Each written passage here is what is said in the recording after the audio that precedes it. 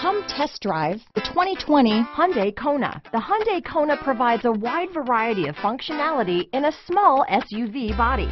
The energetic design is perfect for those looking to marry their adventurous side with their urban lifestyle. Here are some of this vehicle's great options.